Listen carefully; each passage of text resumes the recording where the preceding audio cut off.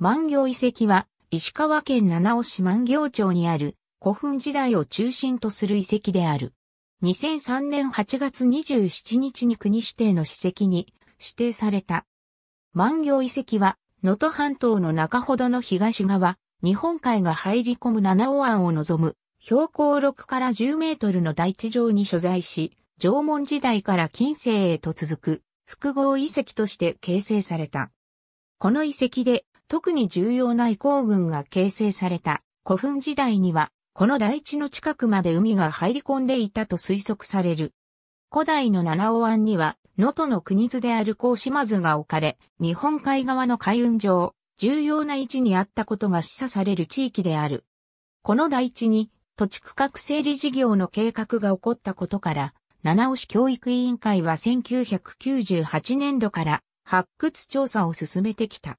その結果、弥生時代中期以降の縦穴住居跡や古墳時代前期の大型掘立柱建物をはじめとする数多くの遺構、遺物を検出した。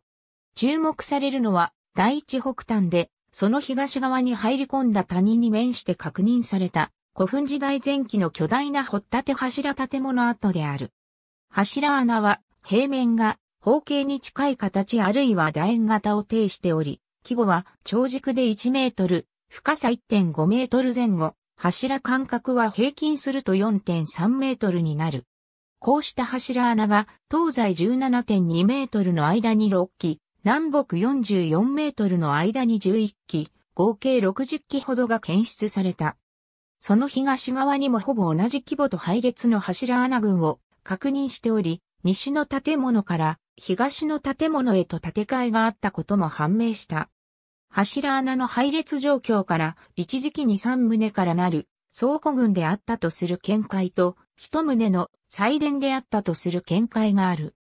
倉庫群とすれば東側に久し状のものがつく播磨2県桁行島で床面積約150平方メートルのもの2棟と、播磨島、桁行島で床面積約320平方メートルのもの1棟で構成されたことになる。建物の周囲には軸を同じくする2畳の溝からなる区画施設も存在し、区画内部には広場も存在した。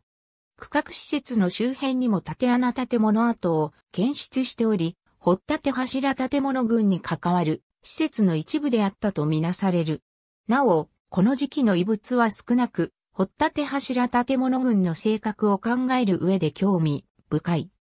大型掘立柱建物群の廃絶後には、幅1.2メートル、深さ0.5メートルの溝により、一辺22メートルの方形区画が作られている。溝の東側中央部は途切れており、この部分が出入り口であったとみられる。区画の内部には、掘立柱建物の存在が推定でき、最上あるいは館といった機能が考えられる。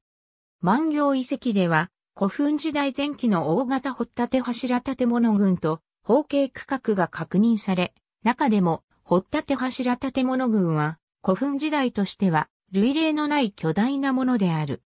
その性格については検討の余地が残されているが、倉庫群とした場合、南北に三棟が整然と並ぶことになり、これまで古墳時代中期に知られていた建物配置が前期まで遡ることになる。いずれにしても、規模から見て、能登地域を超えた政治勢力が関わった可能性も示唆され、古墳時代の政治状況や社会を知る上で極めて重要であるとともに、建物規模は建築史的にも貴重である。ありがとうございます。